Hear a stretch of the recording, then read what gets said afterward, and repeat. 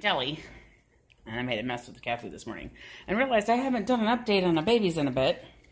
Here's Miss Pudge, who's attacking my jars, box, whatever you want to call that. Hi. Hi, Miss Pudge. We're pretty sure they're both girls. But this is Miss Pudge. Um, today is September 28th, I think. So they're like two and a half months old. Oh, she's gonna out to clean up the mess. Isn't that sweet of her?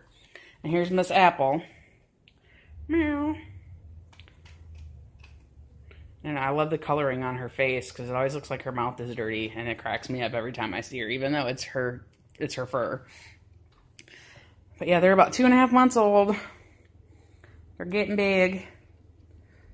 We've uh, done some stuff in Sky's room, so we took the pallets out from underneath her makeshift bed, and the cats are enjoying them. So right now I've just kind of left them because it gives the kitten something to climb up on and gives all the cats something to uh, scratch instead of scratching on stuff that they're not supposed to. So eventually I want to use this to probably make some kind of cat thing for them, but I just haven't felt good enough to do it yet. So that, that's on the agenda.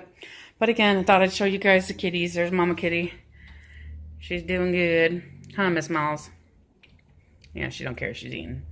Pudge over there, called Pudge for a reason and she loves to eat. And Miss Miss Apple is down here in the water bowl, which looks like it's five times bigger than she is. And all of the animals like to leave water all over the place after they've drank. But she's they're doing good. The babies are doing good. Mm, starting to not be babies anymore.